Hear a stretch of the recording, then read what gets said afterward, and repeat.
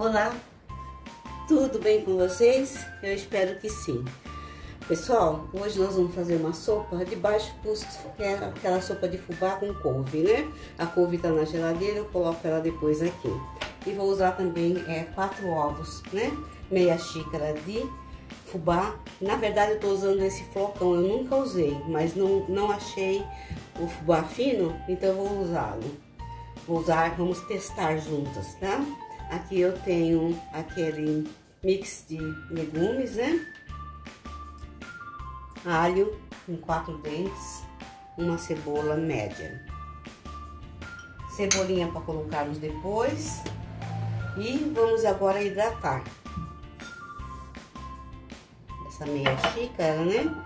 Vamos deixar hidratando aí uns 15 a 20 minutos. E depois eu volto. Vamos ver se com flocão tem muita diferença, né?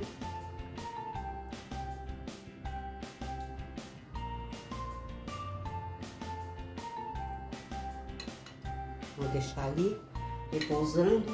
Eu vou precisar de mais ou menos um litro e meio de água, já está, já está ali. E aqui eu tenho na panela duas colheres de óleo vegetal.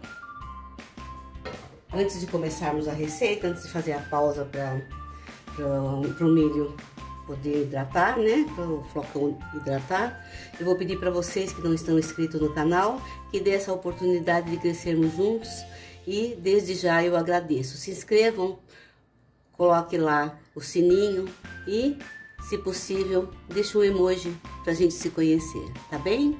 E até daqui a pouquinho.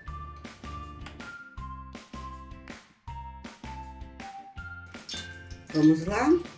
Enquanto hidrata, hidrata nossos flocos lá mais um pouquinho, eu vou fritando aqui o alho.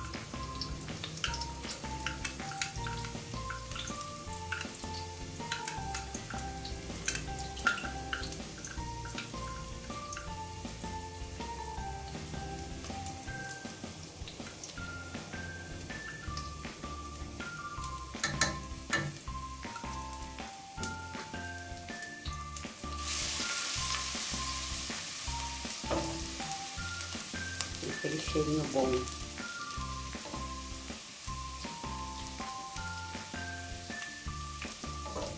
Quando começar a pegar cor, aí sim eu já coloco aqui a cebola, né? E para de fritar o, o alho, porque vai estar tá fria e ela tem umidade um pouquinho de água, né?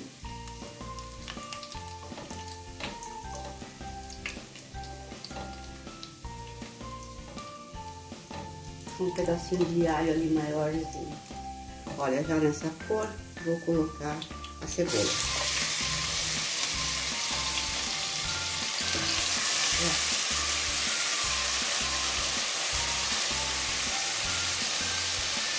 Já espalhei antes para parar o cozimento, né?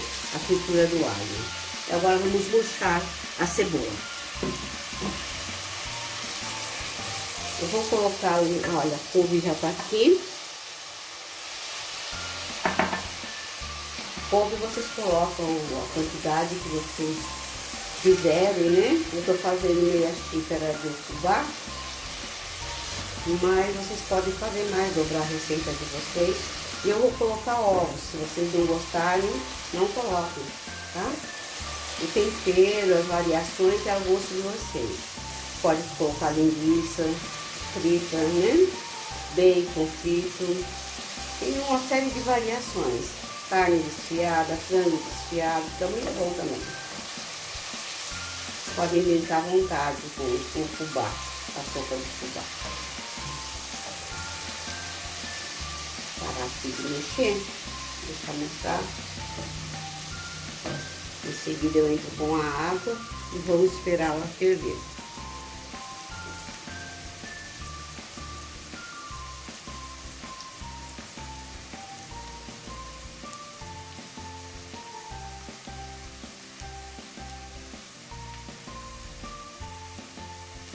Mais uma mexidinha aqui.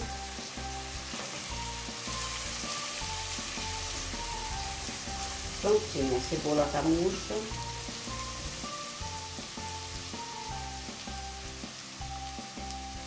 Eu vou entrar com a água. Aqui tem um litro e meio de água, tá?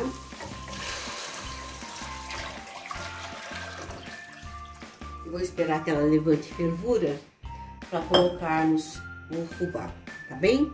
E daqui a pouco nós voltamos. Beijos! Água fervendo, abaixei o fogo para colocarmos o nosso fubá.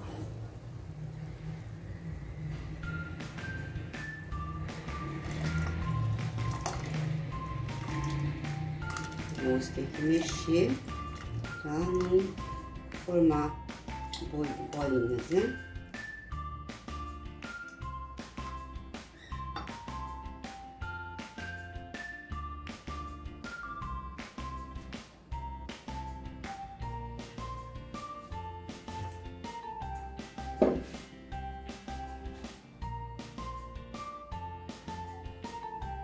Já vou aproveitar para colocar meu mix de legumes.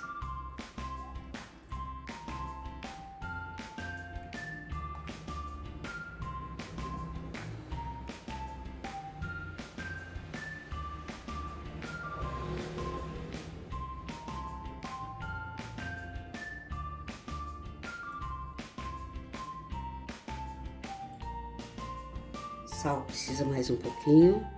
Vou acertar agora. Essa quantidade de sal.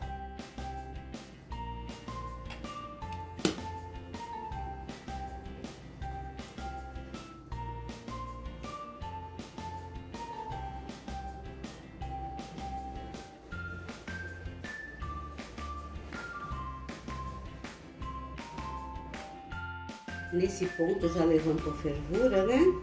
Então, para evitar bolhas que machuquem as mãos, eu vou deixar por 10 minutos, 10 a 12 minutos, né?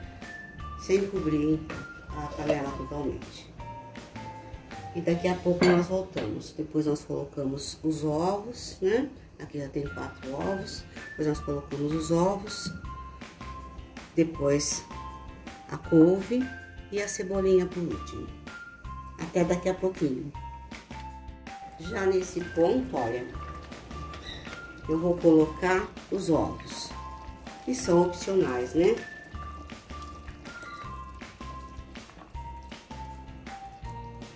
Eu vou deixar cozinhar por cerca de cinco minutinhos mais. Depois eu volto com a couve e a salsinha. Vocês verem, olha, o ovo já tá cozidinho.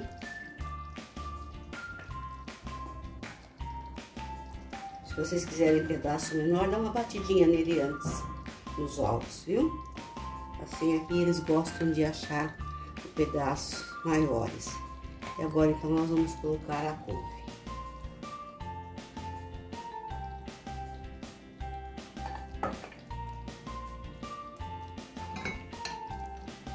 Deixar só murchar, só um pouquinho de tempo. Bonita, né? Tá um cheiro tão gostoso. Agora que eu vou colocar um pouquinho da salsinha. Salsinha não, cebolinha. Vocês já estão acostumados comigo, né? E o outro pouquinho eu vou colocar na decoração do prato na foto. Olha, só esse tempo mesmo, pra couve não ficar escura. Vou arrumar o prato e já volto. Olha, ficou assim um cheiro gostoso, já experimentei, tá uma delícia. E aqueles que ficaram até aqui com a gente, por gentileza se inscreva no canal, ajude-nos a, a, crescer, assim como os outros canais também pequenininho, não custa nada dar um like, né? Eu passo nos canais por aí, o que eu encontro eu vou dando like, independente de ser pequeno, de ser grande, né? Não economizo like não. Um beijo em cada coração, espero encontrá-los sempre bem e até a próxima receita, se Deus quiser. Como eu sempre digo, ele há de querer. Beijos!